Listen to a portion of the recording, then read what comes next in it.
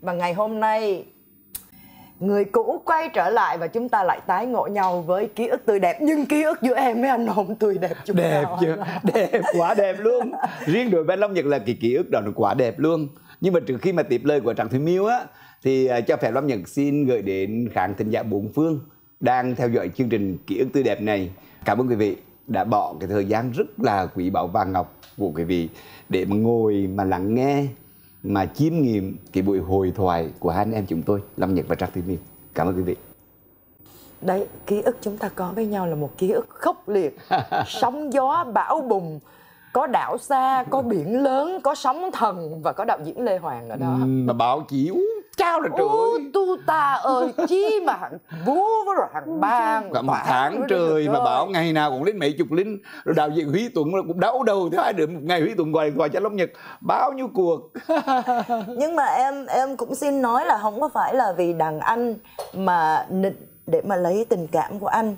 Thật sự khi đó cái mà Thúy Miêu bảo vệ lúc đó anh ạ đó chính là cái cách xử lý ca khúc của anh. Chứ lúc đó có biết anh là ai đâu mà bảo vệ cá nhân anh. Ừ. Nhưng mà nếu mà hát cho chiến sĩ đảo xa trai quê rồi ở ngoài đó trong cái lúc mà cô quạnh và hiểm nguy như vậy có lẽ những cái cách xử lý mang đậm chất quê hương sẽ nhắc cho họ nhớ là họ đang đấu tranh vì cái gì? Vì một nền thái bình vì bà mẹ quê vì rặng dừa vì cây cao đầu ngõ. Vì những gì bình dị nhất và mấy cậu thì là trai quê thì thích nghe những cái dòng nhạc như vậy. Không phải cứ hào hùng mới là nhạc hát cho chiến sĩ. Đúng rồi. Thì lúc đó em một hai ông lê hoàng nói trời ơi ca kiểu long nhật. À. thì làm sao ca cho chiến sĩ là phải hào hùng chứ tại sao mà lại ủy mị vậy? Vậy thì lúc đó anh, em hỏi thì anh anh hoàng là anh, cái miệng anh cũng ác dữ lắm á, lúc đó anh có bị tổn thương không? Không, anh không có tổn thương là tại vì lâm nhật nhìn là mỏng manh, huế mà có vẻ dị vợ mà rất là mít ước hay khóc. Nhưng lâm nhật được quyết định cái cái đó hay là trời sập xuống thì anh vẫn thấy là cái đó hay. Thì tôi mình lớn trong trong âm nhạc. Thì anh nghĩ gì này muốn hào hùng muốn mạnh mẽ thì đã có trầm tấn anh thơ trầm tấn những người chuyên hát những cái nhạc về về về về biển đảo quê hương thì tôi là một cái làn gió mới một cái trữ tình một cái mềm mại một cái quê hương để mà vỗ về an ủi những người chiến sĩ nơi đảo xa. Nhất là những cái ngày mà mùa xuân tết đến cần kỳ họ nhớ nhà như vậy. Có những người cũng nói là ờ, tại sao lâm nhật hạt xịn quá? Lâm Nhật này ai sợ từ sến thì cứ sợ. Nhưng mà riêng anh Lâm Nhật thì xin nhận cái từ sến đó về làm bảo vật Là bởi vì nhờ cái chữ sến đó mà Lâm Nhật có công chúng. 30 năm Có sự nghiệp, có vợ con, có nhà cửa, có tất cả mọi cái. Là anh Nhật sến cả trong suy nghĩ. Chứ đừng có nói từ cách hát và cách sống. Và khi anh Nhật đã khẳng định cái điều đó là đúng Thì mình cứ làm thôi. Bản thân anh Lê Hoàng cũng vậy. À, phim của anh Lê Hoàng có những bộ phim mình mê mình coi suốt ngày suốt đêm. Nhưng cũng có những người người ta không chịu. Nhưng mà nhắc tới anh Lê Hoàng thì Lâm Nhật sạc lại Lâm Nhật cũng nói luôn này. Đối với Lâm Nhật á là cái trường hợp của anh Lê Hoàng là rất giống cái trường hợp của ba Lâm Nhật và anh hai của Lâm Nhật đối với Lâm Nhật. Những cái con người khó khăn. Những cái con người khó ăn ờ, khó ở mà mà ờ, khó là bao giờ cũng phải phản biện ờ, mà khuôn vàng thước ngọc có vẻ không thích những cái người uh, xanh xanh đỏ đỏ đàn ông mà, mà như cầm bụng thiếu eo eo rồi lắm chiều ừ, nhưng anh Hoàng là không có eo eo. À. anh đặc biệt cái giọng anh Hoàng là không có eo eo. Không eo eo một chút ừ. nào hết nhưng mà đối với anh Hoàng là cũng giống như anh Nhật chinh phục anh Hoàng giống như anh Nhật chinh phục ba của anh Nhật ở nhà và chinh phục anh hai. Là số anh ra một lần anh lao vô một lần. Xuống ra hai lần, anh lao vô hai lần. Xuống tới lần thứ 10 lần thứ 20 bắt được. Tại vì anh Hoàng là người ta, chứ không phải là gỗ đá. Anh đi trong sự kiện gặp anh Hoàng ở đó, anh! Chạy đi ôm vậy đó. Mặc dù cái câu chuyện mới xảy ra ngày hôm qua đạo thì mới bính nó năm nhật như vậy. Đáng lẽ phải hận về dần ông đấy chứ, được không? Quan niệm nghệ thuật là mỗi người một suy nghĩ, một cái lập trường. Nhưng mà cái tình anh em trong nghệ sĩ với nhau anh là người lớn mà mình rất quý anh Hoàng luôn. Yêu ông từ cái lưỡi dao từng cái từ cái ngược dòng rồi sau này là tới ờ, uh, gái nhảy phần 1 phần 2 rồi trái nhảy. Thì yêu ông anh trong những cái tác phẩm và trong cái nghề. Thì mình nghĩ cái tình yêu này đủ lớn. Thì dẹp về từ trong qua một bên. Mình nhỏ mà. Lùi một bước trời cá biển rộng. Thì bây giờ nè suốt ngày bây giờ gặp là vui như tết. Vậy á mà các ông thì vẫn uh, yên lành và vui vẻ với nhau ừ. chỉ riêng con em này trời đất đất ơi tao Bình nói anh. là tao nói cả tháng trời sau đó nó xì căng đan xì căng ơ rồi uh, mọi người thì vẫn coi rằng là em thích nói uh, ngược và em thích cãi anh Hoàng cho có ừ. chứ uh, hát nhạc cho chiến sĩ thì đúng là không ai chấp nhận hát ẻo ẻo à. nhưng em tin rằng chính anh Long Nhật chắc là cũng đã có những lần đi hát phục vụ anh đi ra ngoài bạn ngoài đảo anh đi anh mới đi về này. Ờ, anh đi và, mấy và ngày. khi mà mà em mời anh uống nước anh hát với cái với cái trường phái xử lý ca khúc đó thì các các cậu ấy các cậu chiến sĩ đã đón nhận nó như thế nào? À, Lâm Nhật cũng khoe luôn là vừa rồi Lâm Nhật đi về Bộ Tư lệnh Quốc phòng được giấy khen, được bằng khen, được uh, huy chương, được uh, kỷ niệm chương. Và sau cái cái cái, cái gần đậm Trường Sa mà cái bài hát sự nghiệp 70 năm của Lâm Nhật đó thì cái năm nay Lâm Nhật có cái là mặn lên da là biển mặn xuống tóc là trời. Lính đạo không trắng nổi yêu hay đừng miêu ơi. Nơi mây nước nối liền làng đào kê định sóng. Chỉ một nét thương nghiêng cũng xuân về xôn xao. Sóng sóng dội bốn bề đạo chim và đạo nội. Thương nhau thì miêu nhé cưỡi sóng tìm nhau thôi đạo đạo mọc thành trùng linh làm hoa cho biển. Mùa xuân trường sa trẻ như binh nhật binh dễ thương. Đấy thì cái trữ tình như thế đó. đúng không? Tại vì cái người chiến sĩ người ta cũng có quê hương cũng có cha có mẹ. Mà cái người bộ đội cái người lính đó nghe chưa? Anh nói cho em nghe nè. Họ đau đổ một nỗi nhớ nhà nhớ mẹ và nhớ em gái. Rất có kỳ lạ thương thương mẹ và nhớ em gái. Thì những cái bài hát của anh Long Nhật đem cái mùa xuân đến gần hơn đem đến quê hương như em đừng nói đem đem đem cái cái cái, cái nét thương nhiên đó đến cái mùa xuân là gần gũi hơn. Và bằng chứng là mấy cả mấy trăm chiến sĩ có nơi cả ngàn chiến sĩ như trường sa lớn đón nhận anh như một người thân trở về nhà vậy. Thì anh nghĩ là chắc là mình làm cũng được thôi thì nghệ thuật thì luôn là có bàn ra bàn Đúng vô rồi. nhất là ông anh tôi đây cái tên Long Nhật đã đủ là một cái nguồn cơn cho rất là nhiều giấy bút bàn vô bàn vào Ừ. cho nên ai nói gì thì nói nếu ngừng lại sự nghiệp chỉ vì thị phi thì có lẽ là anh Long Nhật đã dừng sự nghiệp từ rất sớm lâu rồi đúng rồi không? Lúc đó có mười, mười, mười mấy tuổi à? Mới học xong phổ thông thì làm vào đoàn ca mối nhạc hải đăng thành phố nha trang đó. Hát ở huế ba cấm ba bắt về. Tại vì nhà lắm nhật có ba đời làm quan trong triều nguyện lận à, có một ông cao làm từ triều minh màng triều ờ, uh, thiều trì và triều thị đức. Nên là cái quan niệm của của của bá là cái nghề đó là một cái nghề uh, chưa rã mồ hôi để đại hệ tiên bấp bênh. Và đến cái Long Nhật bỏ đoàn Huế về đoàn Đà Nẵng ca mối nhạc Quảng Nam Đà Nẵng tiên xa rồi ba cũng vô ba bắt ra còn ba gì trong đó cũng nổi dạo cháu giặc nuôi Lâm Nhật đi học đi hát cuối cùng Lâm Nhật về Hải Đăng Nha Trang. Mà cái câu chuyện về Hải Đăng Nha Trang là Lý Kỳ vào tuyệt trong đoàn đầu rồi. Nhưng mà có 17, 18 tuổi thôi.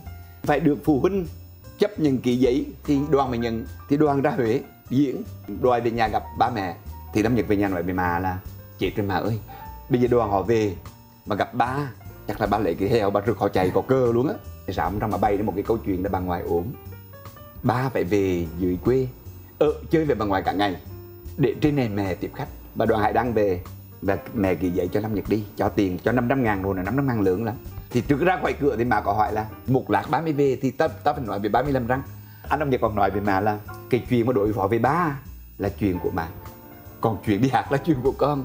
Đó thì năm Nhật về Hải Đăng thì à, uh, bà đòi đăng bảo từ từ đó ngày xưa có cái mang mà đăng bảo Đúng giấy để rồi. từ con đó. Thì giận Nhật, nhau à, cái là là có mấy cái tin nhỏ nhỏ. Ờ, là đang bảo từ con ông đính khắc duyệt không không còn liên quan tới thằng con đến ông Nhật nữa nên là sướng cá vô loài đó này kia. Mà ngày xưa gọi điện thoại về là đánh điện tín. Ví dụ là Trạc Thị Miêu 3 giờ chiều ra ngoài bưu điện thành phố Huế nghe điện thoại của Long Nhật. Càng ít chữ càng tốt đỡ tốn tiền. Đánh cái boxer rồi đó. Thì à, ba ra thì sợ lắm. Thì nói với ba là ba cho con đi 3 năm nếu mà con thành công thì con đi tiếp. Còn nếu 3 năm mà không thành công thì con về con sẽ đi học sư phạm. Con bảo lưu kết quả rồi. Con sẽ về con đi dạy giống nhà tại vì nhà mình cả nhà đi dạy học. Và cũng may mắn là từ 90 91 92 là Lâm Nhật đoạt huy chương vàng. À, nụ hồng rồi mấy chim câu tre là xong ca về Mỹ Hạnh và bước lên làm một ca sĩ chính của của đoàn. Rồi sau đó từ 95 Lâm Nhật về Sài Gòn. Từ 95 từ 95 là anh rời đoàn. Tại vì anh nghĩ là muốn thành danh muốn được khán giả cả nước đón nhận là phải Sài Gòn. Mà có một điều kỳ lạ là nghe miêu anh yêu Sài Gòn một cách không thể lý giải được vì sao. Anh không phải là người con ở đây, anh không lớn lên, anh không chung nhau các rộng ở đây. Nhưng ba anh nói là, anh biết nói là cả nhà nói tiếng Huế, mà anh đang nằm trong nôi anh bập bè là anh nói tiếng Nam. Tại vì hồi nhỏ anh rất là dễ nuôi, cứ mở cải lương về mở ca nhạc về mở những cái câu chuyện trên radio đó anh nghe đồ thẩm trong lỗ tai anh và khi anh tập nói là anh nói tiếng miền nam phim không cần biết là diễn viên miền nào sự phim tổng hợp thành phố Hồ Chí Minh cũng được, sự phim Việt Nam cũng được, sự hạng phim giải phóng cũng được. Không biết miền nào phải lâm tiếng Sài Gòn thì anh mới coi. Mà không phải một mình Long Nhật đâu thưa quý vị. Riêng Huế của Long Nhật nha, cá sĩ mà bước ra sân khấu đoàn thành phố Hồ Chí Minh giới thiệu một đoàn ca mũ nhạc Sài Gòn là là hết vé cả đã và ca sĩ bước ra những cái ca sĩ nổi tiếng thì không nói. Còn những ca sĩ trẻ mà họ chưa biết á chào bằng dòng Sài Gòn là 50% Là thương là liền. năm điểm đã là thương đã. À. Và cái điều đó là khiến cho anh anh khẳng định là anh sẽ về Sài Gòn anh sống. Khi anh ở đoàn Huế anh có về Sài Gòn năm 87 về dự hội diễn trong đây liên hoan ca mối nhạc chuyên nghiệp toàn quốc. Đi bằng xe từ xa lộ Hà Nội bắt đầu vô qua cầu Sài Gòn và anh nhìn một thành phố hóa lệ đêm sáng trưng cả đêm vậy và sáng hôm sau đi cà phê rồi anh đi chợ Bến Thành anh vô ăn đông rồi anh đi ăn cái kem hộp á. Và anh nói trong bụng anh là mình sẽ sống ở đây thứ hai của mình. Vì sao? Vì sự hoa lệ của nó. Và vì là muốn đi quay cải lương là tối ra mua vé qua được liền. Muốn gặp cô lệ thủy cô bạch tuyết là ra ngoài rạp là có ngay. Nhớ cô kim cương là chạy về đoàn nhà khoa bình là gặp lá sầu riêng liền. Tại tất cả những điều mà mình mơ ước là nằm trong tầm tay. Còn ở huế buồn quá sài gòn họ ra họ diễn em bị một cái đoàn ca mối nhạc sài gòn hay là một đoàn cải lương ra anh xem từ lúc họ treo băng rôn lên á rồi từ lúc họ hà băng rôn xuống anh về khóc hai ngày. Họ diễn 10 ngày là anh quay đủ 10 ngày. Họ diễn một tháng anh quay đủ một tháng. Một ngày họ diễn ba suất là anh quay đủ ba suất. Anh bỏ học bỏ hành anh trốn nhà. Anh đi theo nữa. Đoàn ca nhạc điện ảnh sài gòn ra huế à, liên hoan điện ảnh. Anh nằm trong cuộc học huế anh là học sinh giỏi học đạt hay anh được cùng với mấy trăm học sinh đi đón cả mấy ngàn khán giả nữa. Anh dành tỷ lúc lúc là Nguyễn thanh Luân là một cái tương đai trong đoàn là có chị Thanh Lan, có chị Nhã Phương, có chị Bảo Yến. Và chen chen cái để chen lên sân khấu tàng hoa đó. Mà anh nhỏ xíu à anh nhỏ con lắm. Và số phần làm sao? Anh dành tiền đứng trên sân khấu nhìn xuống bà thẻ anh nhật. Ông bể lên em ơi. Ông bồng anh nhật lên sân khấu nữa. Anh tặng cho thần tượng được bỏ hoa sẵn ngồi lú trong lòng anh thì đánh tuột xuống nữa. Đó em thề với anh chú chánh tính mà bồng em lên em cũng ngồi đó em không tuột xuống. Đâu. là bà anh em chúng tôi làm làm làm làm làm anh em luôn từ đó cho đến bây giờ mấy mấy năm. Đến bây giờ vẫn còn thương anh tín như rửa chị Bảo Yến cũng rửa anh về tới Sài Gòn năm 95 như lúc đầu đã nói chưa có công an việc làm chưa có chỗ hát chưa có chỗ ở anh phải ở nhờ nhà bà là em ruột của ông nội á, ở ngoài quận nhất ở đường Nguyễn Trãi đó.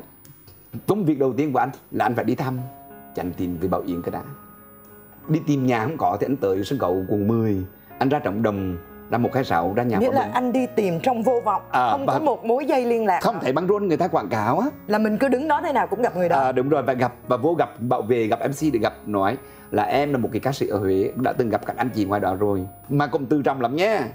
Gặp các anh các chị và nói rằng là em không có nhờ vả gì đâu. Em sẽ từ đi tìm công an việc làm sẽ tìm chỗ hát. Em sẽ không phiền tới các anh chị phải giới thiệu gì đâu em đi gặp các anh chị để em giải quyết cái vấn đề nhớ nhung xong đã. Rồi sau để yên tâm để lo công việc.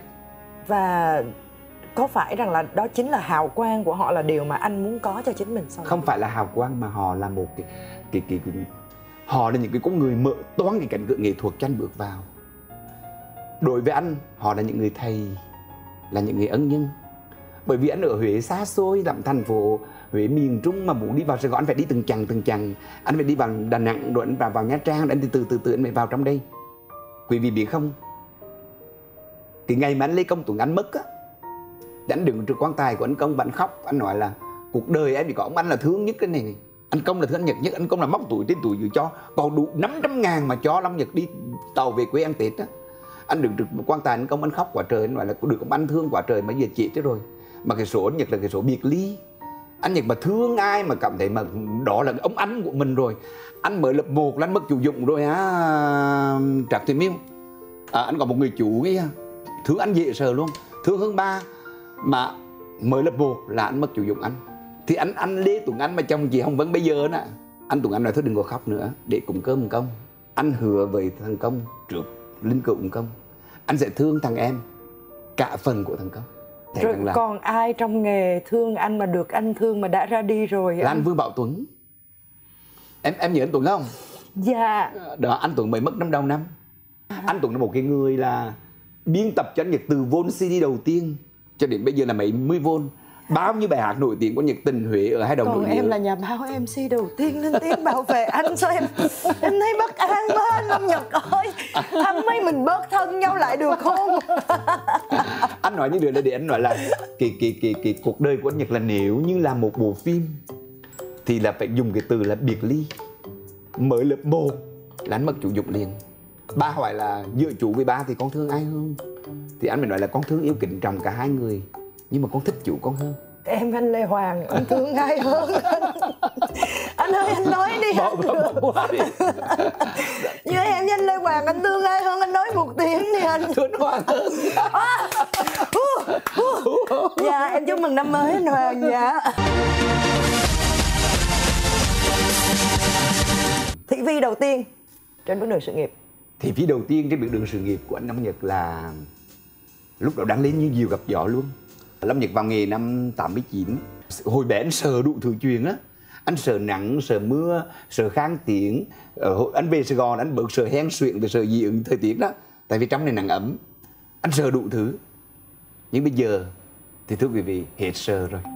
Những cái điều sợ hãi nhất là đã xảy ra rồi. Mặc cho nó dễ khóc người mỏng manh dễ vợ mặc đồng đàn đàn ông nhưng mà tính rất là mít ướt nhưng mà bên trong là cả một sự can trường sự tối luyện cả một sự chịu đựng anh hai của anh dùng từ là thần kính thép là thằng Long Nhật.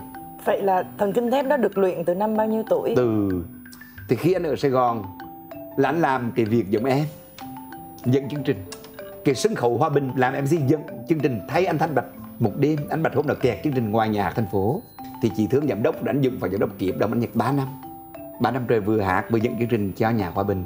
Cái cánh cửa nghệ thuật là mở toang ra rồi cả cái hãng phim hãng bắn địa mời thì vốn con cò bé bé mà vốn một đầu tiên cái bắn video của bé Xuân mát anh Nhật dựng á. Nhưng mà anh vẫn kỳ nghiệp của anh Nhật lắm phải là kỳ nghiệp MC anh xuất phát là, là anh được đào tạo thanh nhạc và anh anh quyết tâm anh phải đi hát. Và anh ra Hà Nội. Và khi ra Hà Nội tới 98 ra Hà Nội thì thưa quý vị nổi tiếng. Trời ơi một mình lắm Nhật làm cả, cả vàng người cả 10 ngàn người ở sân vận động Lạch trai, cuộc đời nó bước qua một trang mới trở thành một ngôi sao ca nhạc ngủ một giấc thì phát cái bay mẹ nhịp cầu tre về là tóc em đưa gà lên là từ lương của mấy trăm ngàn một triệu của anh Xuân Hinh trả cho Long Nhật á. Và hôm sau là lương là ca xe lên 5 triệu 7 triệu 10 triệu liền. Nhiều quý vị có thể nói rằng là Long Nhật đang nổ nhưng mà tôi cũng xác tín một điều rằng là đặc biệt những giọng ca mà trong Nam cho là sến như là ca sĩ Long Nhật hay là như anh Ba Ngọc Sơn. Anh Quang Linh nữa. Dạ là bá chủ thị trường giải trí phía Bắc Phía Bắc. vì đó chính là cái ờ, thi vị hương xa Đúng rồi. Ừ. mà bà con khán giả phía Bắc ít khi có được lúc đó mà anh trụ và anh đặt đại bản doanh tại Hà Nội luôn Ừ. em nghĩ rằng là anh sẽ thành công hơn bây giờ rất rất nhiều lần luôn đó tại không sao nhưng mà biến cố lại biến cố từ những đáng rực rỡ như rửa bỗng có một biến cố xảy ra và một cái scandal đầu tiên giáng xuống cuộc đời anh người ta bắt bắt được một đồng mài dâm nam ở Hà Nội. Và cái người chủ đó người ta khai ra là có rất nhiều ca sĩ nổi tiếng đến đây chơi bời. Và đặc biệt một người không chịu tới như ở khách sạn gọi điện thoại. Và lúc nào phải là hàng là phải hàng vip. Mà ông ném ném tiền qua cửa sổ. Người đó là anh. Và báo chị thì không viết tên thật tên tên thật mà viết tắt. NLN thôi.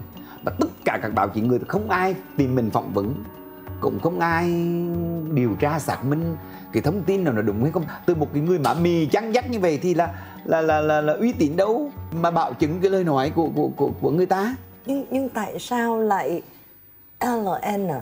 tại tại À. và anh cho rằng đó là nhắm vào anh hay là một nghệ sĩ LN à? nam ca sĩ LN người Huế nổi tiếng với các khúc mấy nhịp cầu tre về Ôi quê trời. ngoài tóc em đuôi gà thì là anh thôi à, và thêm một người nữa là anh Quang Linh à, mà bảo chị viết làm sao mà hai đứa bị bắt được quả tang tài trừng trong cái đồng đó luôn? Tức là tam sao tức bạn bảo này viết bảo này viết bảo này viết và không ai phỏng vấn hai đứa mà lúc đó là Quang Linh đang đi Mỹ diễn. Và lúc đó anh Nhật đang về Huế để mà bà nội bình á. Và cái người đầu tiên gọi cho anh Long Nhật là anh chị Trung nhà tuổi trẻ.